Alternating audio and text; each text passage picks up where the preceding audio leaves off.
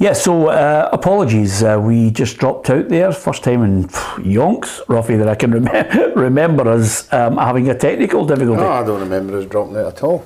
Ever? Uh, ever. Yeah, you obviously have eradicated the first three years we were together. so, apologies to anyone who's uh, missed out and for those who have dropped off completely. But uh, we were talking about Hearts against Rangers and then moved on to Celtic against Motherwell. Uh, Celtic, with more than a few, I think, injury worries that Ange Postecoglou was. It's always one of those situations where international football, you wait, you see how many injuries you've got that's going to affect your overall squad. Yeah, and I think the Carter, Carter Vickers one is a big one for Celtic. I think he's you've seen against St Mirren, he's a vital player at the back. Um, he's going to be missing against Starfelt. So it's going to be again a makeshift back two. Um, but Celtic are at home, you know, Motherwell playing well but not scoring goals. You know, you still expect Celtic to win the game comfortably with the squad they've got. But I think if you're Kevin Van Veen or you're Louis Moult and you see the two centre halves, you know, you think, mm, I quite fancy today against the two gents, and I think it probably Welsh. Yeah, the one the one thing about it that you look at, Ruffy, if there's anything to pick up on what Tam mentioned there, is quite simply that back line, Welsh, I thought was exposed at times uh, by St Mirren. If anything, you know, Stephen Hammell will have looked at that game and said, "Okay, here's where we still think there are there are weaknesses that you can get at Celtic." Yeah, I think everybody uh, identifies that, and, and, I think we've all said that, particularly away from home. But I thought Celtic might have struggled at Aberdeen or Hearts or Hibs or whatever. I don't think I saw that coming at St Mirren. Fortunately for Celtic, they're at home. Again, they'll have, I would, I would hazard a guess, 70% possession. I don't think they'll be under the cosh that much at home. If it had been away from home, it might have been different. But what St Mirren have done is have given everybody a belief that Celtic can get beat on a given day. But I don't think it's at home. I think it would be away from home. So I would think Celtic will just pick up the reins where they left off and start scoring goals again. Yeah, uh, I must just mention apologies to anyone um, because uh, the uh, stream went down there for the first time, and I mean, I just can't remember when, but Hugh Scott clearly does remember. He says, Welcome back, guys. Did Ruffy kick the cables out again? that was the first thing I thought when I saw him looking about going, yeah. Oh, no, please. Exactly what I thought. Cables. yeah, I don't know if you've noticed the difference this time around is, uh, you know, uh, maybe it's because I'm getting older and more mellow. Um, when he kicked the cables out before, I really wanted to take all the equipment and scalp it right off his head. Whereas now, um, you know, life is too short. It's as simple as that. Um, yeah, our reporter uh, Kerry Pollock was out at Motherwell this morning to get the thoughts of the opposition at Celtic Park on Saturday. I'm here at Fir Park where the Motherwell boss Stevie Hammell has been looking forward to their game against Celtic tomorrow. He says it's no secret the way Celtic start their games, even the ball boys are on point at Celtic Park. But more importantly, his players should be out to impress. It's going to be difficult, we understand that, but you know the, the players have bought into everything we've tried to tell them so far and it's a game that they should be approaching with with you know a, a, real encouragement and enjoyment and going and really proving it's a game as individual or as a collective that if you do well in, in, in terms of you personally your reputation will do well. And Motherwell fullback Matt Penney puts it quite simply three points is three points. I think every game's a big game really. Um, at the end of the day it's three points is three points whether it's against a team at the bottom of the table, the team at the top of the table. Um, so yeah, it's obviously they're at the top of the league, so deservedly at the top of the league. So it's classed as a big game, but like I say, we're going to get a result. Yeah, three points is three points, says Matt. Um, uh, although some you have to blow out of your back end harder than others, Tam, as you will testify to. Yeah, three points at Celtic Park's a lot different for you know beating a St Mirren or a Kilmarnock at home. You know, Motherwell go there huge underdogs for the bookies. Um, Celtic imperious at home. The record at home has been tremendous under Ange Postecoglou, and I just can't see Motherwell getting anything. I think they'll score. I do think Motherwell will score. You know, looking at that, there's going to be changes at the back. I think Van Veen, Moult, I think Motherwell have got a goal in them, but Celtic will score three or four.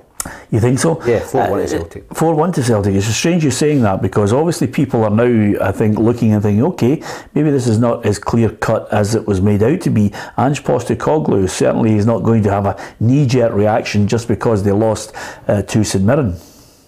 If you, if you use a result of a game as a backdrop to question everything you do, then, mate, you, you'll go nuts in this game. So, you know, I don't like I said, every game is the same for us. Whether we win, lose, or draw, we look at the performance.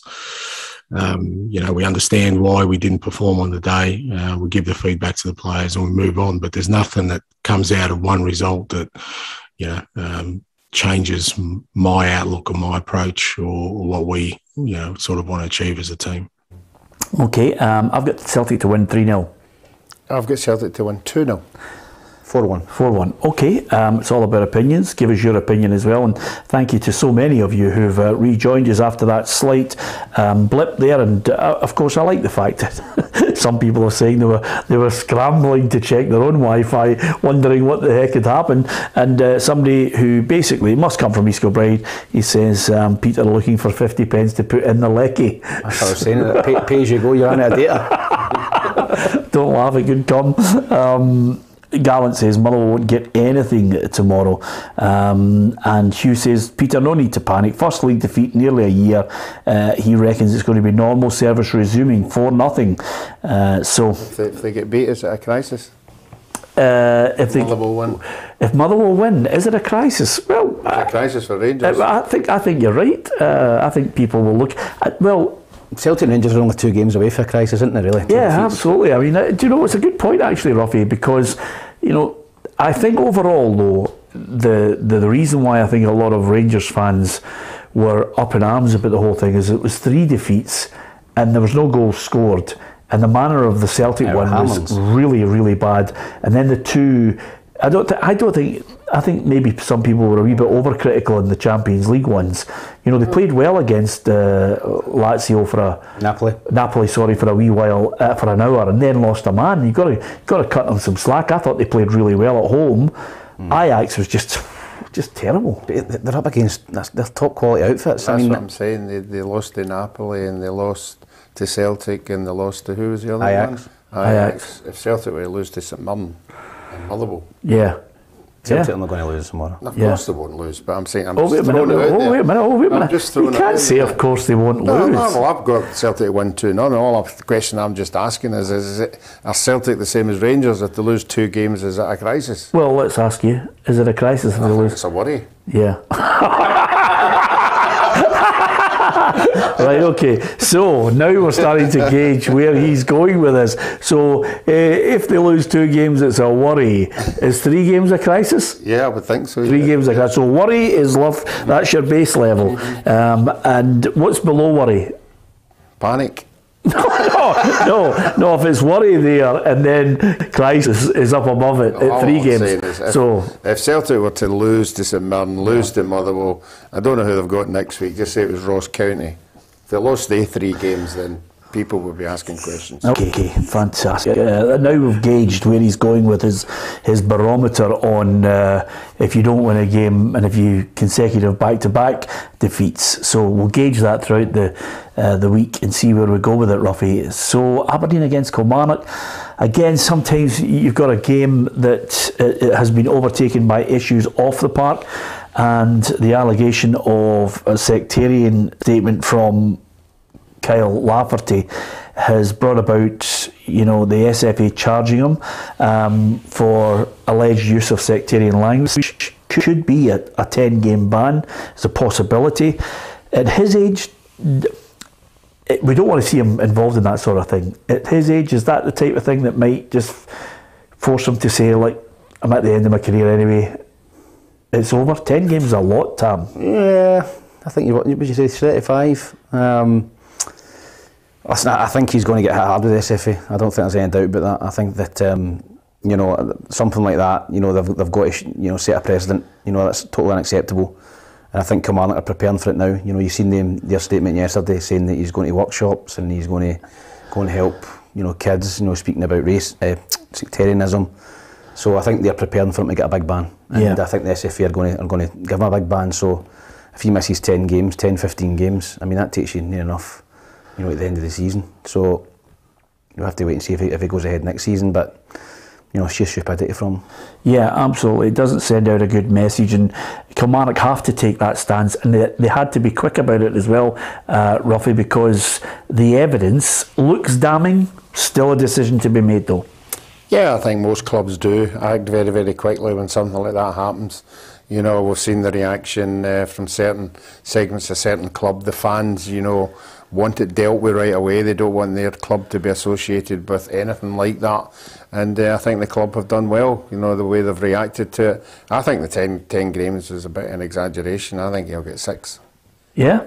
I'm not saying he shouldn't get 10, but No. I, I think 10 is just a bit of a figure somebody's threw out there. Yeah, well, we'll, we'll wait and find out. Uh, either way, he hasn't really set the heather on fire in the top flight anyway, Tom. No, um, I think he's found it a lot more difficult. I think Kilmarnock, obviously in the Championship, were winning a lot of games and had a lot of pressure and creating chances. You know, they're not getting that in the Premier League. You know, they're sitting near the bottom of the league for a reason. So, no, he's not been at his best in the Premier League, and as he's getting to the tail end of his career, so it'll just be interesting to see if if he can does continue playing into, into next season. Yeah, as ever, throughout every season since I've been working and watching and reporting on Scottish football, sometimes the off the field antics, you know, are, are things that dominate the back pages. Um, Aberdeen uh, also have an SFA charge to answer to. It's Jim Goodwin's comments about Ryan Porteous. Uh, I think Jim. Uh, he's hoping that common sense will prevail, um, but I think Jim knows. I think he knew the minute he said it that there's a ban coming. He's got to get banned. He, he can't come out and say players are cheats. You know, as a manager. You know, and particularly if it's if it's totally blatant, then I could maybe understand. But it, for me, it wasn't blatant. It was two players coming together. Yeah. You know, it's a, it's a soft penalty, but you know he's obviously he's obviously got preconceived ideas about Ryan Porteous before he even got into the game. You know, he's been done in the past with him, maybe going down the box or winning a penalty, and he's he's obviously said to the referee before the game as well. You know, you need to watch him. And as soon as that's happened, he's obviously just exploded, and he's not going to get away with that. I think the SFA again will hit him hard because unless it's a blatant, blatant cheating, you know, you can't have managers coming out and accusing players of, of cheating when it's certainly no black and white. Yeah, I think I've got Aberdeen just to edge this one. I fancy Aberdeen. I, I, I know Ruffy's been, know, speaking about Kilmarnock, been near the, near the bottom of the table, and I'm starting to come round to that as well. I just don't think they've got enough quality, and you know, he's, he's padded the squad out a little bit, but that was a squad that was, let's be honest, it was 45 minutes away from possibly losing the championship. I'm not getting promoted if Arbroath had held on, you know, down at Rugby Park. So, and I don't see great changes to that team. So, I think if Kilmarnock can stay up this season, I think they'll be doing well. Yeah, I I always think, Ruffy, the real kind of a test is round about January. Once you start to see chairman, you know, starting to panic and say, okay, we're going to back him. Uh, the one thing that De- Derek does have in his favour, though, is he, he's fairly pragmatic in the way he approaches games. If anything, they'll probably be dogged and try and just avoid, uh, you know, defeat more often than not. He likes to keep his, his defence tight. So I think that's the one thing that is an element of him that suggests to me that I still think Killie can escape the drop, but I might be wrong. Well, th- these are the places he's got to go and show that. The team's got to show that. They've got to go to Pittodrie and maybe dig out a draw. And then, and then you, you go away and then you look at the next game and say, look, we drew at Pittodrie, let's get a win at home. Yeah. You know, they- they've been struggling to get points here and there. And, and generally in our league, you know, if the next, up until Christmas time, if you're in the bottom three, you're usually in the bottom three right to the end. Yeah, you're scraping for everything. So you got to start winning games. Yeah. Because we're looking at Aberdeen, we're looking at Hibs, who were struggling last year, but we're all thinking they're going to move up. You know, so that that a gap might appear at some stage. Uh, who have you got? I've got Aberdeen to win 2 0. Okay, Ross County against Hibs. Uh, of course, listen, um, I, I think the move's Im- imminent to Real Madrid uh, for Ryan Porteous because it's one game and there's a fair amount of hysteria has followed it. The boy played out of his skin, which was fantastic, Tam, because I think when you sometimes there's that, that little bit of moment, I, I always call it a sliding doors moment. He's played out of his skin. He knows he's going to leave Hibs in the summer. And if you could say he's an international player as well, it boosts his chances of getting even more money. Um, and he can sign that pre-contract. So I think it doesn't matter what Hibs say. I think he's Offski. Yeah, I think he's off ski as well. I think you can tell by Lee Johnson's comments, you know, about his contract. I think that um, as a young boy coming through, sometimes you can be neglected in terms of contracts. You know, and foreign players coming in get more money, or if you sign someone for a fee, they get more money. But I think Ryan's is certainly on in the high earners budget at Easter Road.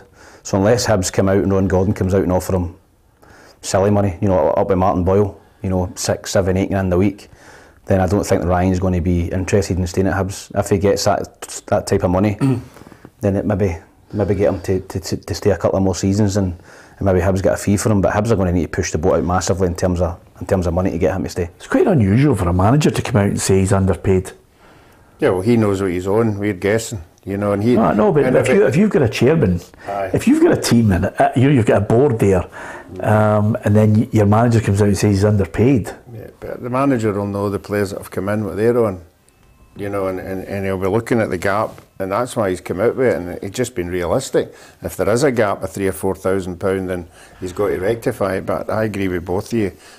He's already said he wants to go down to England. If he goes down to England, he'll get more than seven or eight grand a week. Yeah, and of course there's a wee bit of uh, consternation between uh, Ryan Porteous and the Aberdeen um, boss uh, Jim Goodwin, which Lee Johnson had a wee comment on. He wasn't too happy with some of the comments about Porteous. Well, personally, I wouldn't do it in terms of uh, speaking about opposition's player. I think the incident. Listen, we're we're all very emotive after games because we all want to win. Um, and like when I actually look at the incident itself, um, I thought I thought it was 50-50 still. That's exactly what I said. That, I, I think that's yeah, uh, if it was a blatant. Who was the boy? Alex Schalk for Ross County against Celtic, where he just anticipated the contact and dived Yeah. to win a penalty. Yes. If Brendan, I think Brendan Rodgers did come out and say he was a cheat after the game. I'm, I'm you know, not 100 percent on that, but something like that, where it's Yeah. blatant dive, I think. You can understand the manager coming out and say it, but that was a 50-50 incident. Both were at it. Yeah. Soft penalty.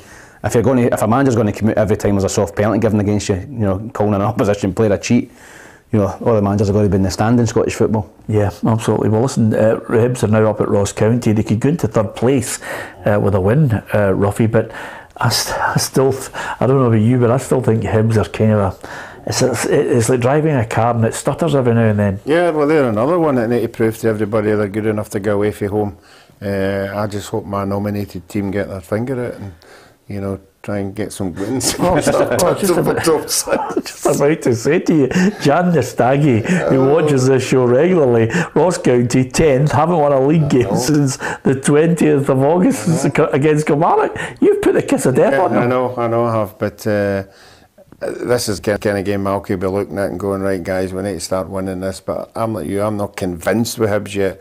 I do think they're good enough to go up there and get something, but um, I might be drastically wrong.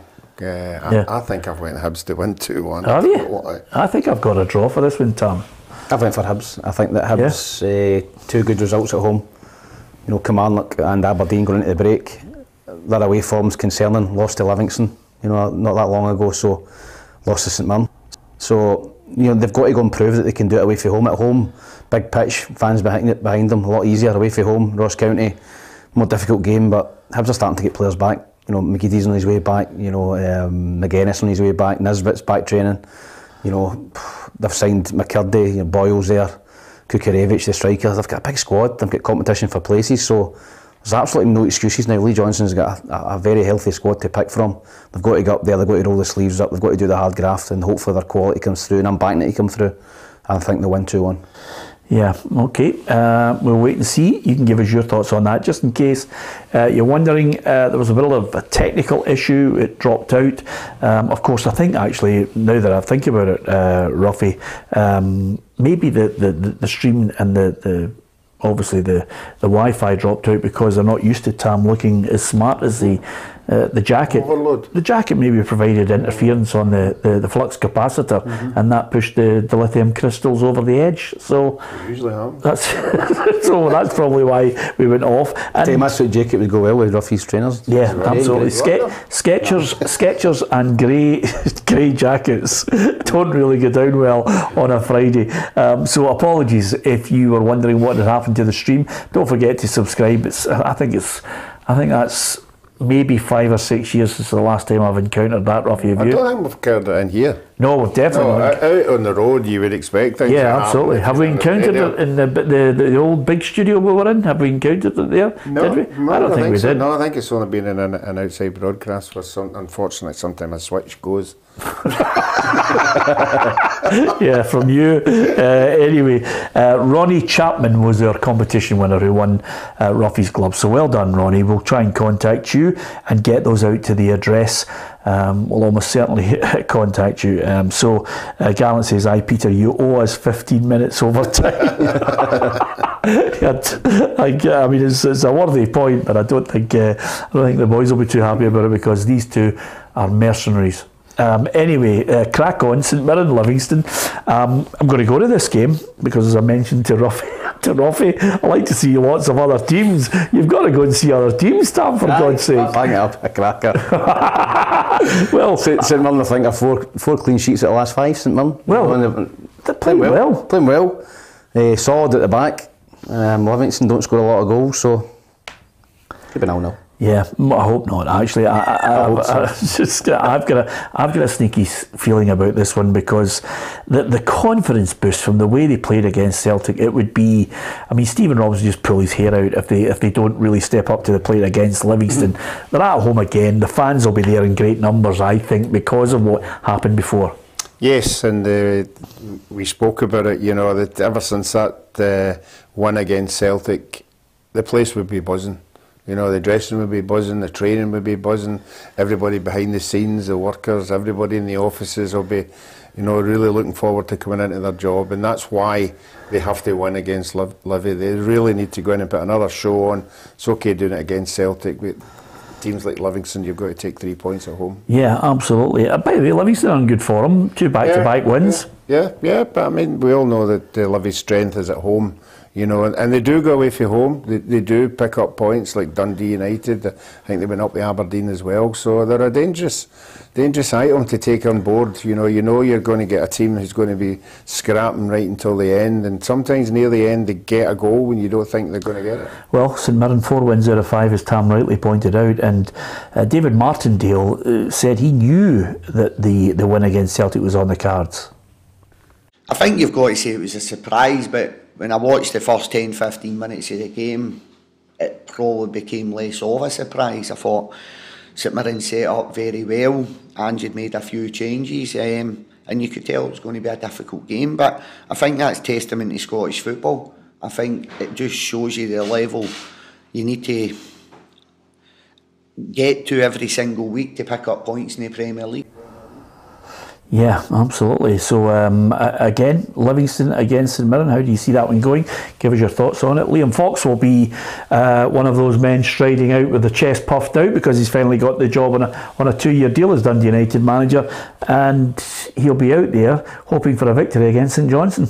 Yeah, I want to start well. I think that they're, you know Dundee United sitting at the foot of the table, and I, th- I don't think anyone's seen that after beating Alkmaar. You know, you're, you're at the game one nothing. there was a lot of you know a lot a lot of stick, and so I think that you know going into that game, Liam Fox has, has got to get off to a flyer. I think they will get a point. I think that St Johnstone look good this season for me. I thought they would be nearly bottom of the league, but they've signed some good players: Ryan McGowan, Nicky Clark, Jamie Murphy. Um, I think they'll get a point, but uh, Dundee United need to start picking up points um, because I think they're the foot of the table for a reason. They've not been good enough so far, and uh, they've got to they've got to pick it up. Yeah, I, I think I'm in, I think I've just gone mad for the draws. Yeah, Rocky. A I lot of tight can't- games, I think, Yeah, it's a lot of tight games, isn't it? Yeah, but Dundee United really need to get their act together. Obviously, it takes a wee while to recover for losing nine goals at home. You've got to get the fans back on board. This is the kind of game you would look at and say, right, we get a win here. Fans will accept that, but I, I think they've got St Johnstone at the wrong time. Uh, I think Ron- St Johnstone was struggling on early on, but they've seemed to get their act together. And Nicky Clark's been a good signing for them, and you would expect him to be there or thereabouts. So I think I went for a draw as well. Yeah, Thomas McDougall says Dundee United against St Johnstone, a yawn of a game. Nicky Clark will be wanting to go back and want his old team. That's you know, it's, it's always a thing when you're an ex striker. And I went through it. Obviously, you know, I went back to a, a lot of ex clubs, and uh, there's always a wee bit of added edge, a wee bit of extra needle uh, to want to go back and prove them wrong for letting you go or whatever. Have you been able to do that? Yes, I've done it a few times. I've done it. Um, I done it for uh, Dundee against Falkirk. I was at Falkirk and went to Dundee. I scored scored for Falkirk, sorry, against Dundee. And uh, Did you celebrate? Oh, I went mental. right in front of the Dundee fans. Yeah. Uh, but it's, again, this respect thing, you don't celebrate when you score against your old team. I, I don't understand that at all. I think Yeah. when you score a goal, there's an explosion of joy, you know, goes within you, and it's very difficult to, to keep that in. Are there any exceptional circumstances? The exceptional circumstance, Well, well, you leave the club in good faith. Well, If no. somebody bums you, in the eye. No, no, right. Well, I'm just saying, you've you've played for Dundee, right? Then you moved to Falkirk, right? Did you move directly to Falkirk? Eh, I don't think so, no. No, right. Because I, I'm looking at some players. No, there was one, I'll tell you when there was one. Right. I was at Dunfermline Uh-huh. and uh, I fell out with Jim McIntyre and I went to Colorado Rapids and come back, went to, where did I go? Right, come back to Ayr United Right. and we went back to East End Park and Jim McIntyre was struggling and I was with United and I scored the winner, we won 1 nothing and I did run by the dugout and give it, get it up you, Jim McIntyre. Wow. Yes, and we won 1 nothing. Right. So, So that's... A theme is there here. any? Well, I should, I should, I should. Re, I need to rephrase the question. Has there been any situation where you've scored a goal and shown a bit of respect to the previous player? None at all. Okay, because I'll tell you why. And all the reason I'm asking you is because I remember, and it, it came right into my head the minute you said it. There, there are exceptional circumstances where I know a lot of players, and one of them, of course, was Henrik Larsson. Um, Alan Thompson heads the ball back. Larsson's in the Barcelona strip, just pops it into the back of the net, and boy, you should have seen his face. Um, Yeah, I think it's as, as I said there. If you've been at a club for five or six years and you've had a great time, a great rapport with the fans, Yeah. and you leave amicably to another club, they sell you on or something. Yeah. But if you get treated the way Tom's saying he's been treated, why not? Yeah. You know, if if you fell out with the club or the manager or whoever, so quite. I mean, The best, well, the best celebrations at Adebayor.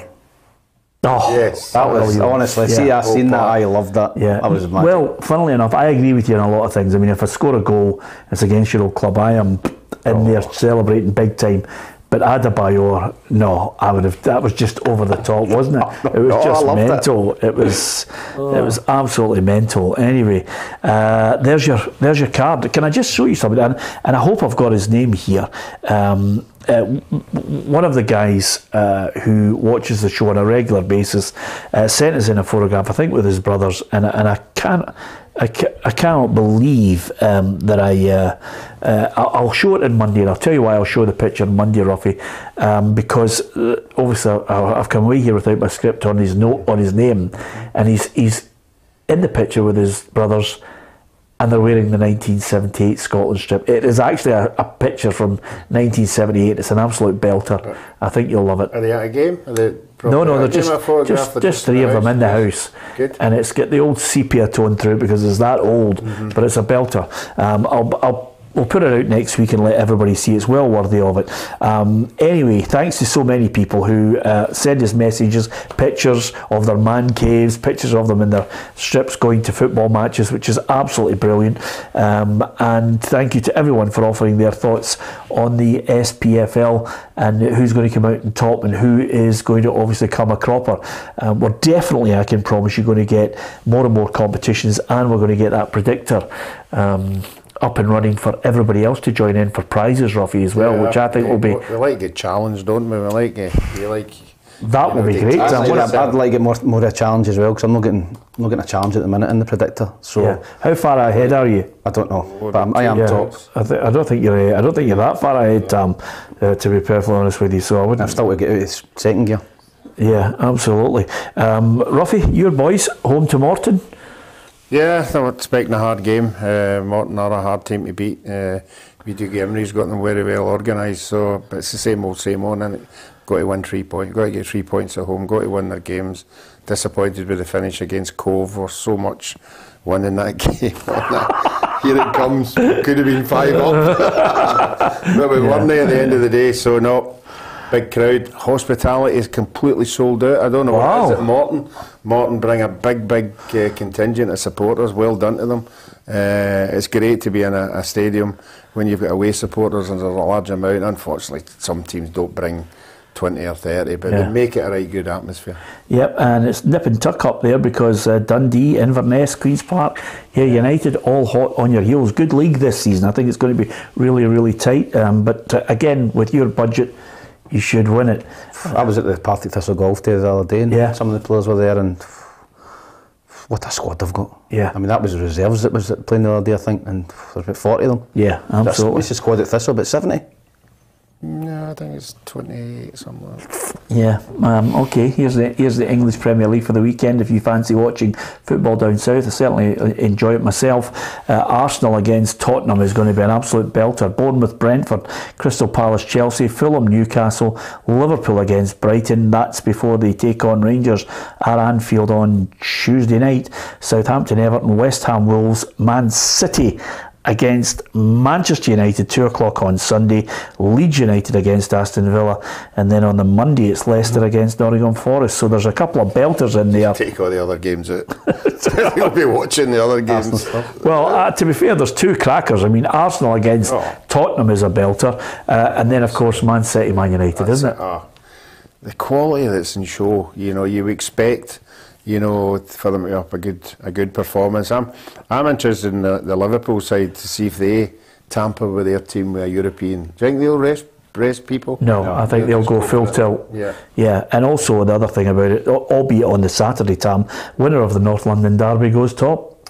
Yeah, I think Arsenal and Tottenham will, will be up there this season. Arsenal started really strongly. Um, I think that's a game if Arsenal can win, you would really think they're the real deal this season to challenge for the title. But Spurs again under Conte have been very very good. So that's got all the makings of a cracking game actually. Yeah, absolutely. And uh, the City United game uh, is going to be a belter as well because how far have United come under Ten Hag? A, a shaky start. Now it looks as if things are looking good for them, but Manchester City with uh, Erling Haaland have just been fantastic. And uh, both managers offered their thoughts in the big game.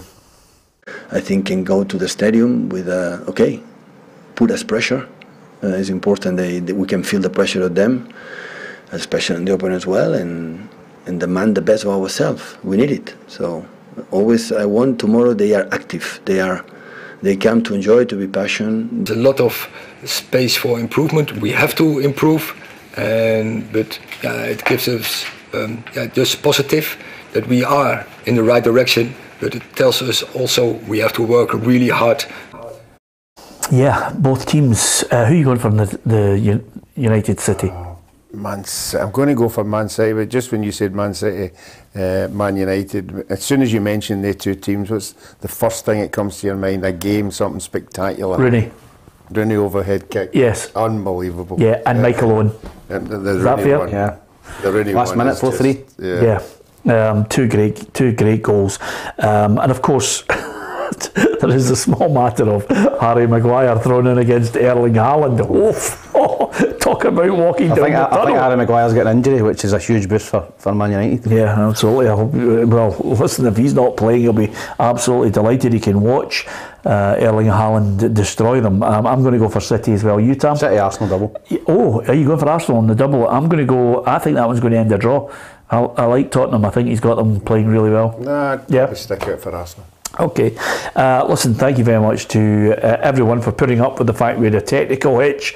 Um, it's very, very unusual. I must admit it caught us all um, by surprise there. But nevertheless, hit the subscribe button, join the football family. We are 24 7. If you download the uh, app, you'll get all the breaking football stories on our app. You can actually watch the programme live uh, on the app as well as at your leisure later on. It's got all the uh, unique video content that we have on show as well. So hopefully you'll uh, be able to download the app, hit the subscribe button for the YouTube because this month we've had a fantastic response, Ruffy. Everybody, more and more people joining in with the show and realizing that not only are we on five days a week at four o'clock, but they can actually tap into so many other uh, programs and features that we're doing with our reporters out at the games. Yeah, I think the features are the big bit for me, you know, catching up, just not Scottish football, European football, English football, you know, it's what everybody wants. Yeah, absolutely. Uh, As a lot of people have copied us, don't uh, take a cheap imitation. Some people have even copied our logo.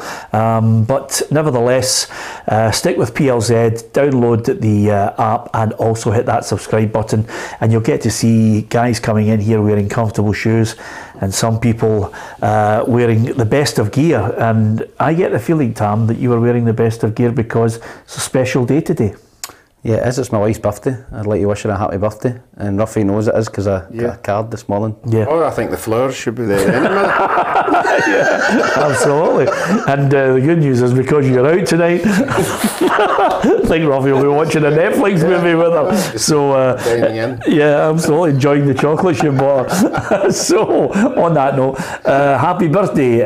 Uh, what's your wife's first name? Mary. Mary, I for keep goodness sake. I'm just. Brilliant. Magic. Uh, happy birthday, Mary. Sorry, I forgot, but I knew Ruffy would remember. happy birthday to you, Mary. Absolutely fantastic. I hope you have a great day and I hope the big man spoils you. Uh, from Tam, Ruffy, and myself, Peter, thanks for watching.